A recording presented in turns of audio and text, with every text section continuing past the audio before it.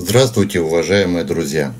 Из бесконечного множества жуков, которых я изготавливал, все они, как говорится, являются ловчими, но в зависимости от, допустим, сложности, вы для себя сможете выбрать тот, ту или иную модель. Вот последние, как говорится, модели, которые вы видели с изготовлением и лапок, и всего, всех других элементов. Вот, как вот такой жук. Или же, как я вам сейчас покажу, я в основном стараюсь сильно, если я занят, допустим, конкретно рыбалкой, и мне, ну нет необходимости, будем говорить честно, поднимать вопрос об излишней детализации. Я изготавливаю для себя вот такой обыкновенный, простой, ловчий вариант жука. Я изначально для себя, допустим, при изготовлении вот таких жуков, выработал какую-то определенную тактику их изготовления – Поэтому давайте мы сегодня с вами изготовим жука, который будет являться основой всех вот таких наших жуков, как вот и такой я изготавливал, вот, чтобы было хорошо видно, ближе как к майскому жуку. Давайте мы с вами сейчас изготовим какой-либо такой собирательный образ. Крючок я подобрал. Вот о них я уже рассказывал очень много. Фирмы Гамакацу. Так как жука я хочу, чтобы вы увидели всю детализацию, я буду изготавливать несколько крупнее, чем он есть на самом деле.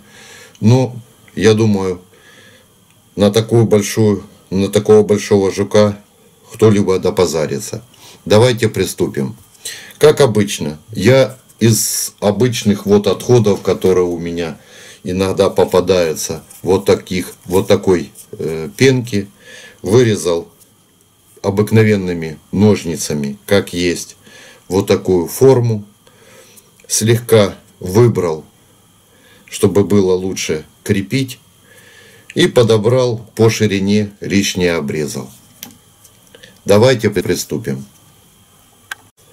Все тело нашего жука и всего жука нам желательно распределить по цевью таким образом, чтобы у нас э, вот буквально две трети занимало основное наше массивное тело, а здесь мы уже сформируем с вами лапки и грудь. Давайте вначале, как обычно, я буду использовать нить, та, которая у меня есть, более толстая, потому что она у меня белого цвета. Я слегка промазываю цевье. Клей нам желательно здесь использовать постоянно и очень хороший, потому что крепить мы материал будем свой почти весь синтетический, который сильно скользит. Не доходя примерно немножечко до колечка, я закрепил нить и проматываю широким шагом по нашему цевью. И захожу приблизительно до края нашего загиба. Теперь мы должны выбрать с вами, если у вас, допустим, недостаточно позволяет загиб изготовить жука, так как тело у нас заберет хорошую часть вот нашего полезного пространства. Можно начинать крепить тело допустим, там, где я остановил нить, оставив пятку значительно более открытую. Но с расчетом того, что я взял крючок на пару номеров больше, чем необходимо, я буду показывать, как можно закрепить еще это тело. Промазали еще немножечко клеем. И теперь аккуратненько, так, чтобы у нас хорошо ложились витки, промотаем здесь нашей ниткой. Годится. Учитывая то, что я здесь сделал небольшой вот такой разрез, мне удобно вот так будет его поставить. Как вы видите, нить попадает в мой разрез, и я вот так аккуратно уже не перерезая нашу пенку, удерживаем ее в таком положении, неудобно возле загиба, сделайте ее покороче. И начинаем вот так подхватывать. Первый оборот. Плавненько, нежно, чтобы не передавить. Чтобы нитка у нас успела лечь на место уже другой нитки и давила на нить, а не давила на наше тело. Вот у нас вышло вот такое, как вы уже видите, крепление, которое достаточно уже хорошо будет держать наше тело, которое мы с вами закрепили. Можно больше, можно меньше, это уже как вы сами захотите.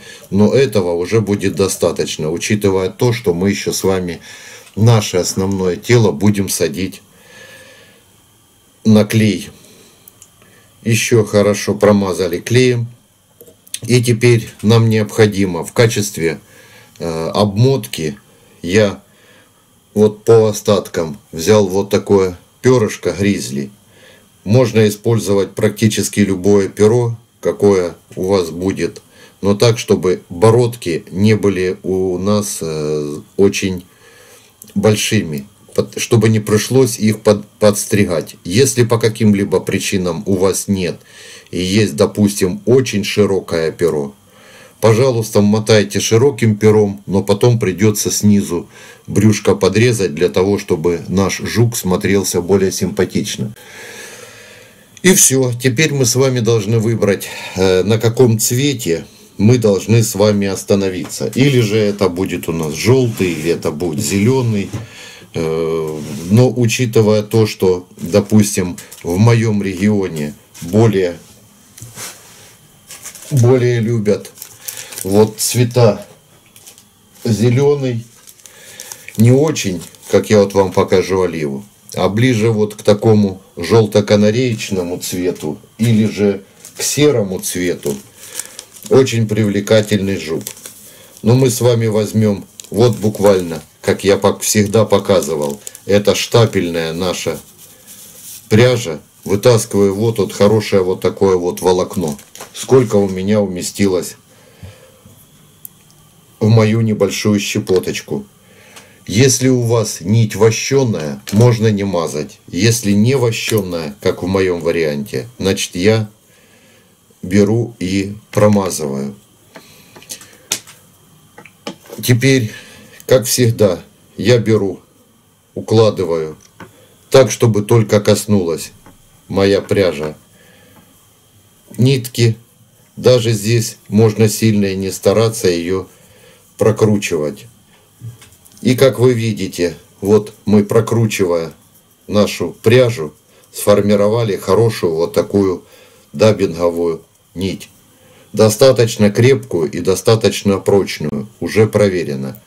От э, ее тол толщины будет зависеть э, и величина нашего тела. Поэтому вы для себя уже экспериментально подберете, можно синелью, можно, допустим, другим каким-либо синтетическим материалом, для себя подберете сами, как для вас будет более приемлемо. То есть материал здесь пойдет практически любой, даже тот, который, э, как многие скажут, он намокает.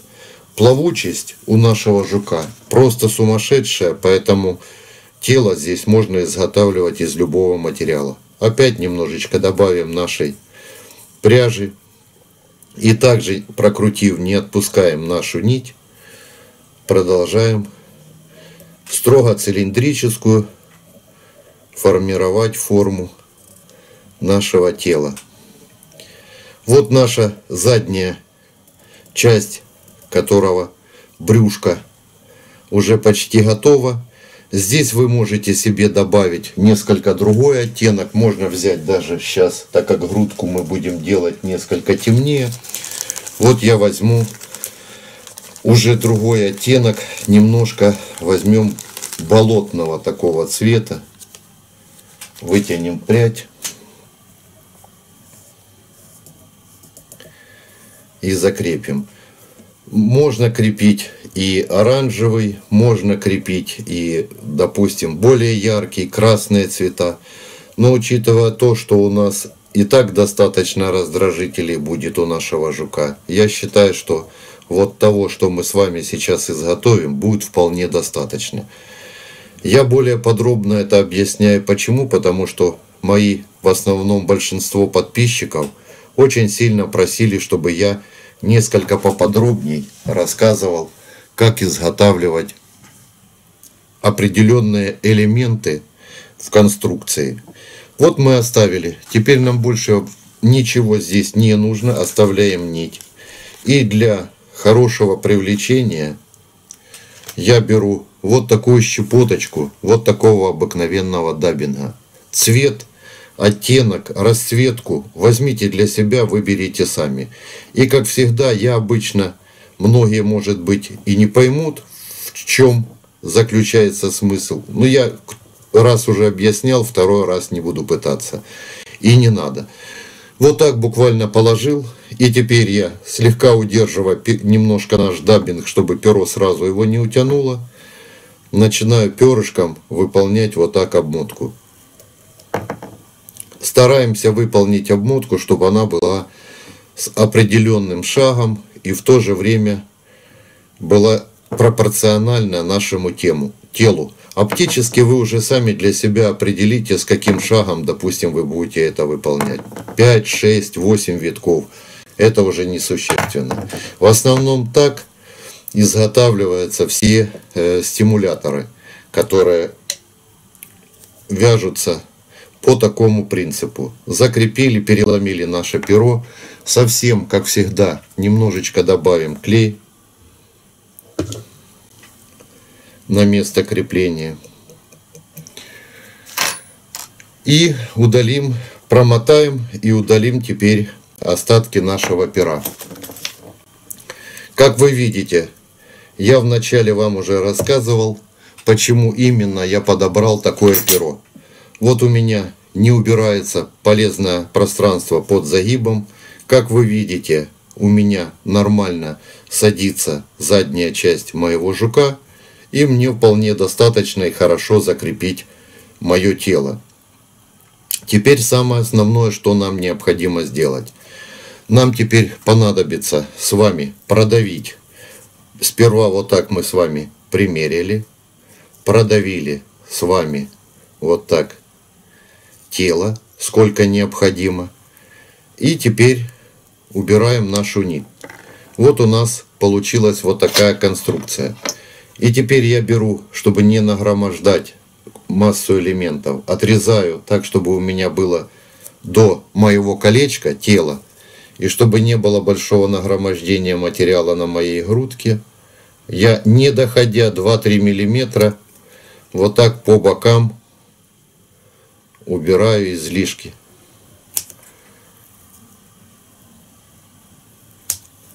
Если у вас пенка стандартная 2 мм, пожалуйста, можно изготавливать, она спокойно продавливается, можно и не отрезать. Как вы видите, у меня теперь есть нормальное место для крепления, хорошо можно продавить. И я спокойно могу теперь э, промотать, закрепить наше тело у грудки. Теперь нам остается только лишь с вами взять, промазать вот этот желобок, который мы с вами изготовили в начале, капнуть сюда клей. Он при переворачивании нашего, нашей конструкции как раз хорошо ляжет на наше крыло. Подстригать, подрезать нам уже здесь ничего не надо, всего достаточно. Вот так придавили и теперь аккуратно стараемся не передавить наше тело, чтобы оно находилось у нас строго сверху. Вот как вы видите, вот такая вышла симпатичная конструкция. Снизу напоминает хорошее, симпатичное брюшко нашего жучка. И теперь давайте закрепим окончательно уже все наши элементы. Я закрепил вот такое перышко с которого мы потом с вами будем изготавливать лапки. И с пенки вырезал вот такой чехольчик, которым мы будем накрывать потом наши с вами грудку. Все это подмотал и, как обычно, подклеил клеем. Теперь нам необходимо изготовить грудку. И, э, для изготовления жука, как я уже неоднократно вам показывал, можно просто намотали бы перо, которое имитировало бы лапки. Или же взяли вот так, переломили, и они бы в сторону у.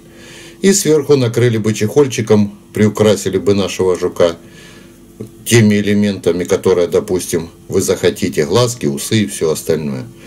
Но мы с вами будем изготавливать несколько посложнее, но более реалистичную конструкцию. Я подготовил вот такой рыжий даббинг из этих же наборов шерсти, которые я вам показывал. Можете использовать любой для сухих мушек. Это уже не принципиально. И совсем немножечко уже к меху добавил вот э, щепотку такого материала. И теперь мы с вами изготовим грудку. Изготовили с вами вот такую пышную жирненькую грудку, которая у нас будет сразу и служить головой. Желательно совсем немножечко нанести клей на нить. И возле колечка выполнить пару оборотов. Так, чтобы уже наша нить здесь хорошо держалась. И теперь остается нам только выбрать определенное количество бородок, из которого мы будем с вами изготавливать лапки. Так как вы просили, я вам и рассказываю несколько это подробнее. И стараемся теперь так, чтобы у нас были равное количество бородок, которые мы захватили слева и справа. Хорошо удерживаем строго у колечка. Перекидываем нашу нить вот так. И подтягиваем. Подтянули. Один-два оборота сделали полных. Переломили вот так замком, оторвали.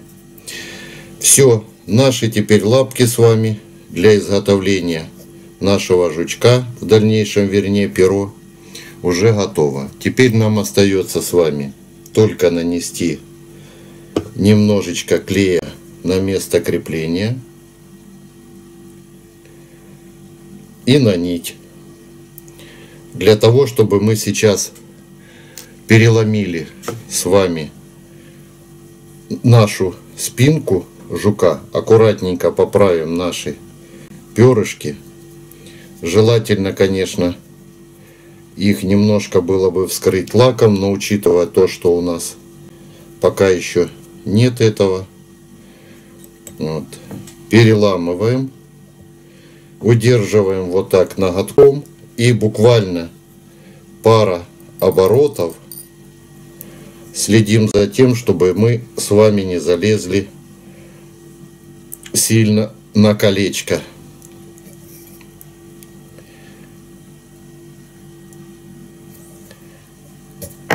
Вот так годится.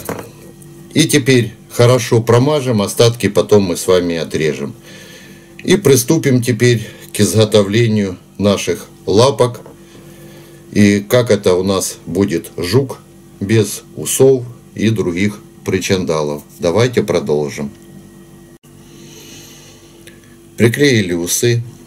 Из лески, хотите из бусинок, я закрепил глазки, прокрасил фломастером и вскрыл лаком.